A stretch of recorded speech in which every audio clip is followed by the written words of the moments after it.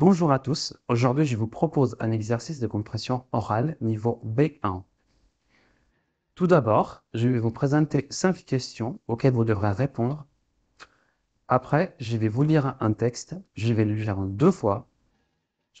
Après avoir écouté le texte, vous allez pouvoir répondre aux questions. À la fin de la vidéo, je vais vous donner toutes les réponses, toutes les solutions pour pouvoir vérifier vos réponses. C'est parti 1. De nombreux Français qui décident de créer une entreprise à l'étranger. A. Vivent déjà dans le pays. B. Découvrent le pays visé. C. Bien s'installer dans le pays. 2. On apprend que Sophie Marozo A. S'occupe d'un journal pour les expatriés francophones. B. Rédige des guides touristiques. C. Diffuse des livres d'auteurs en langue française. 3. Dans quel secteur est l'entreprise de Benjamin? A. La construction. B. Le tourisme. C. La finance. 4. Catherine Guéron propose A. Des cours en management de l'hôtellerie. B. Des formations en gestion d'équipe. C. Un enseignement sur la bonne manière. 5. D'après cet article, Ingrid A a obtenu un poste important à New York. B.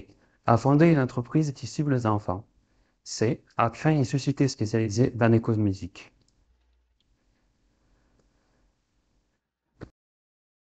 Les Français qui font le choix d'entreprendre à l'étranger sont de plus en plus nombreux. Ces entrepreneurs sont souvent d'anciens expatriés qui sont déjà installés dans le pays d'accueil et ont trouvé une opportunité pour créer leur entreprise. Voici le portrait de plusieurs d'entre eux. Sophie Marozo, journaliste passionnée de lettres, a découvert en 2010 l'e-book alors qu'elle travaillait à la numérisation du guide touristique à Melbourne. S'appuyant sur le développement de liseuses et des tablettes, elle a décidé de fonder une maison d'édition pour faire découvrir la littérature contemporaine francophone. 26 auteurs français, romans, serbes, italiens, suisses ont été connus grâce à elle. Sa société EMU, située en Australie, a déjà publié 12 livres papier et plus de 50 e-books. Benjamin, lui, est installé au Sénégal depuis trois ans. Il a créé Otaï, une entreprise sociale qui a pour but de financer, construire, gérer et commercialiser un éco-village solidaire innovant. Il s'intéresse aux voyageurs respectueux de l'environnement qui apprécient de passer des vacances à la recherche de la sérénité et du confort, tout en améliorant la vie de la communauté locale. À la suite des l'expatriation familiale à Hong Kong, Catherine Biron lance une école de savoir-vivre, la première société en Chine à proposer des ateliers pour apprendre les bons comportements et faciliter la compréhension interculturelle. Banques et entreprises de luxe font appel à ces compétences pour améliorer leur image, former des managers de boutique et des réceptionnistes, éviter les conflits entre les collègues, ou bien encore aider un chef de service à interagir avec des collaborateurs locaux. Ingrid a suivi son conjoint à New York. Sa formation en gestion lui a donné des atouts pour occuper des postes à l'industrie cosmétique et pour décider de se lancer. Préoccupée par l'alimentation de ses enfants, elle a eu l'idée de créer son entreprise de livraison de boîtes repas équilibrées et variées à domicile pour des parents débordés qui veulent faire découvrir à leurs enfants deux goûts différents. Entreprendre à l'étranger, c'est partir de zéro. Vous ne connaissez personne, vous êtes seul, mais tout est possible à condition d'avoir de la volonté et de l'énergie. Les Français qui font le choix d'entreprendre à l'étranger sont de plus en plus nombreux.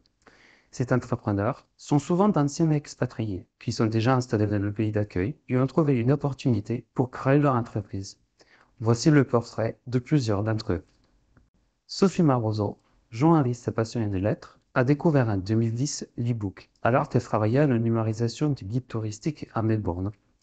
S'appuyant sur le développement de liseuses et des tablettes, elle a décidé de fonder une maison d'édition pour faire découvrir la littérature contemporaine francophone. 26 auteurs français, romans, serbes, italiens, suisses ont été connus grâce à elle. Sa société EMU, située en Australie, a déjà publié 12 livres papier et plus de 50 e-books. Benjamin, lui, est installé au Sénégal depuis trois ans. Il a créé Otaï, une entreprise sociale qui a pour but de financer, construire, gérer et commercialiser un éco-village solidaire innovant. Il s'intéresse aux voyageurs respectueux de l'environnement qui apprécie de passer des vacances à la recherche de la sérénité et du confort, tout en améliorant la vie de la communauté locale. À la suite de l'expatriation familiale à Hong Kong, Catherine Biron lance une école de savoir-vivre, la première société en Chine à proposer des ateliers pour apprendre les bons comportements et faciliter la compréhension interculturelle. Banques et entreprises de luxe font appel à ces compétences pour améliorer leur image, former des managers de boutique et des réceptionnistes, éviter les conflits entre les collègues, ou bien encore aider un chef de service à interagir avec des collaborateurs locaux.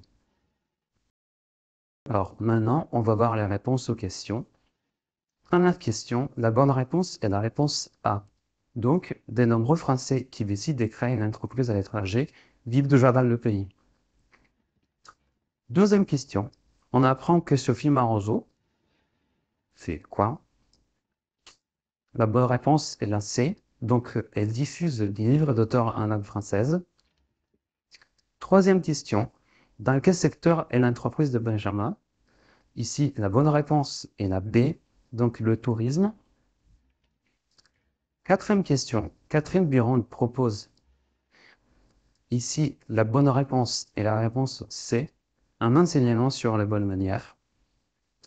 Dernière question.